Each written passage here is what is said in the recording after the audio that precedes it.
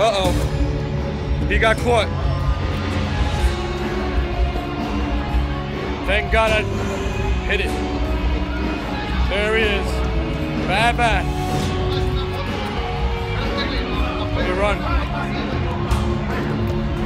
Let me run. Bye guys.